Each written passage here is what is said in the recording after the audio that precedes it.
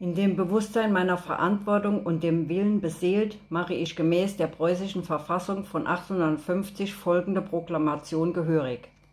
Im Namen von Jahuscha, Jesus Christus, Emanuel, dem König aller Könige, bitte ich um ein Erbe, von Jahua Gott gegeben, den Boden meiner Heimat Preußen, der preußische Boden, der meinem Vorfahren als Erbe gegeben wurde. Darum fordere ich hiermit meine ererbte Staatsbürgerschaft des Königreichs Preußen ein und die damit verbundenen Boden- und Lebensrechte.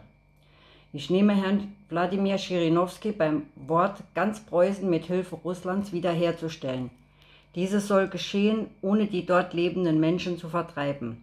Diese unveräußerlichen Erbrechte wurden meinem, meinen Vorfahren im Jahre 1848 und 1850 durch Friedrich Wilhelm IV. übertragen. Mit der preußischen Verfassung von 1850 in Verbindung mit, der Preuß, mit dem preußischen Landrecht ist der Mensch mit Geburt Träger aller Rechte und ich nehme diese heute wahr. Kamen aus der Familie Badlau am 13.04.21 Salui.